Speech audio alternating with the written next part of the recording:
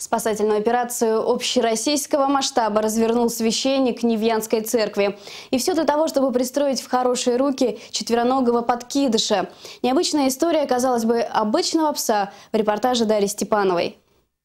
Вы видите, какая я ласковая, я ласковая очень.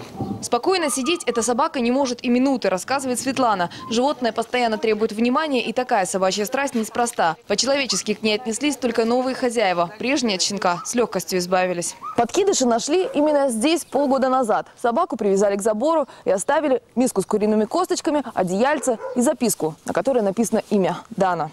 Испуганного щенка приютил священнослужитель Леонид. Несмотря на большую любовь к животным, оставить питомца у себя семья верующих не может. Молитва идет, иконы. Тут же много священная тайна. А собака у нас, в общем-то, это нарушение, поэтому ей ограничено в правах она у нас.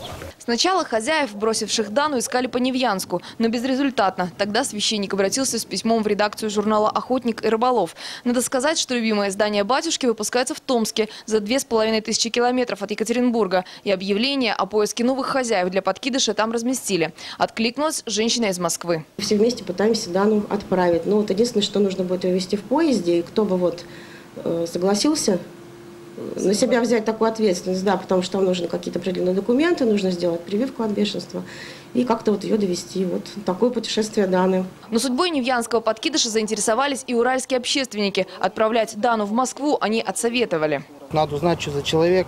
Просто так же не отдашь, все равно надо проверить. Сейчас очень много всяких, которые издеваются над ними, вылаживают в интернет. Это сейчас в порядке вещей такое стало. В итоге новый дом Дани решили найти на Урале. Для этого общественники разместили объявление в социальной сети. Говорят, это самый эффективный способ. С помощью интернета они каждый день пристраивают по одному питомцу. Больше 10 тысяч читателей увеличивает шанс одиноких собак и кошек обрести дом. Лиса обрела дом.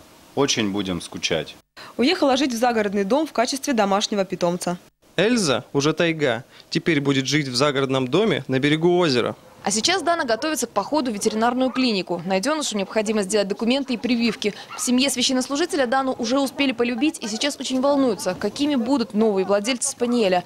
И о скором расставании предпочитают не думать, иначе становится особенно тяжело сдерживать эмоции. Ну, почему вы плачете? Потому что собак люблю. Дарья Степанова, Александр Жанников. События ОТВ.